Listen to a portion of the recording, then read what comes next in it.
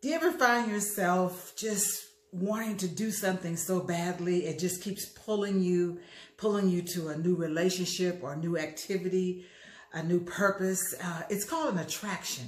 When something is stirring your heart, you're like, I just got to do that. I just want to be with that person. You have an attraction. It is pulling you. Now, nobody likes to be pushed, but it's wonderful when you feel an attraction because nothing will stop you from pursuing it. This is Jewel Diamond Taylor, and I've been attracted to the speaking career for many years. I wanted to do it. And the opposite of attraction is distraction. Yeah, sometimes our distractions become excuses not to do what we need to do. And today I have with me, come on, I have a wonderful distraction with me today. I am babysitting uh, my wonderful grandson, and I've been waiting all day to make this video because I wanted to be consistent. And I said, Jewel, you cannot allow distractions to keep you from doing what you need to do. So often in the past, I realized that I would let other people's opinions or the weather or the demands of family or profession or different things would distract me or people would come and say, oh, Jewel, you need to start selling this or Jewel, why don't you come over here? Jewel, let's go here. And I realized that when I was distracted, I became less productive and I became unhappy with myself because I realized I got unfocused. And being focused is so critical to you manifesting what it is that you want to do. So the opposite of a dis, of an attraction is a distraction. Don't let the distractions of life, you know, the car accident, the, the dishwasher breaking, uh, the traffic, what other people are saying, an illness, those things are going to happen. You will have distractions that will take you off course for a while, but you have to get right back on course and realize your purpose is calling you. It is, you are attracted to it and it won't let you go. You know that book you want to write?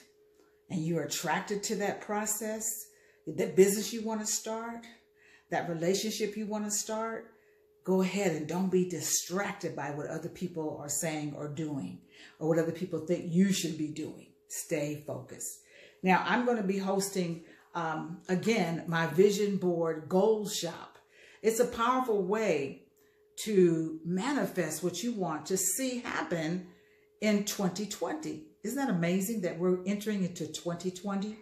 You want your vision to be so clear that you can manifest, be a co-creator with God. And so I want you to save the date for January the 4th to join me for my next vision board goal workshop. Now, I was looking all over for my uh, vision book because what I did, not only do I have a vision board, but I put them all into a notebook I did this in the 80s. I cut out pictures of houses and I now live in the house that looks like the one that's in my vision book. I had traveling, cruise ships. I had all types of things in there. And I'm going to find it in time for our January 4th vision board goal shop.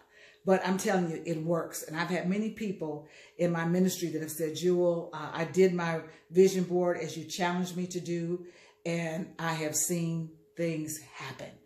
I remember a comedian named Flip Wilson. He said, what you see is what you get. And it's so true. What you see in your mind's eye, what you focus on, it begins to show up into your life. It's called the law of attraction. So you want to make sure that your mind's eye is focusing on the things that you want to be, to do, and to have. Save the date for January the 4th, 2020 to attend my vision board goals shop. It's going to be in the Los Angeles area. Most likely it will be in Carson, California. We will have that date confirmed very soon. So stay in touch with me through email or my website or on Facebook, and we will have the location confirmed very soon, but the date is actually confirmed. Saturday, January the 4th for 2020. Looks like somebody's sleepy. Look at that. Yeah, yeah. You sleepy? Okay, you guys, thank you for tuning in today for Kitchen Conversations with Jewel Diamond Taylor. Stay in the light. You want to wave goodbye? You want to wave goodbye? No? Wave goodbye. Throw him a kiss.